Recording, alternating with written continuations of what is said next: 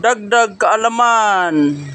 Itong mga motor cab driver, mga pedicab driver. Mga tag-iyag pedicab di kayan yun ninyo nga hugot kay inyo ang kadena sa inyo ang mga motor no? Kay mo ni problema karon na overhaul good ang maong makina tungod sa kahugot sa kadena ang side bearing sa engine sprocket. Daabok yun. Ay mabulitas oh.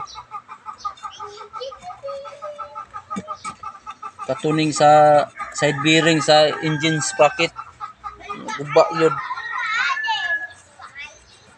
Ay problema ha. Paghugot ra sa kadena mga nahitabo dako kayong problema kay tangtang yun ang makina. Hawas siya sa kahag yun. Di, di kayan yun ninyo. May tag amina, mekaniko karon barato og libor. Bali ra bagong mahala. Ah, gikan pa ni kuan eh. Gikan pa ni India. Kay kaning gi baklas nga motor cab India type man eh.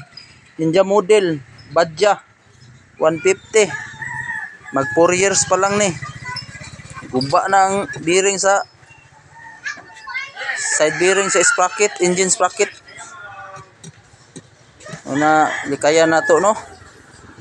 Salamat.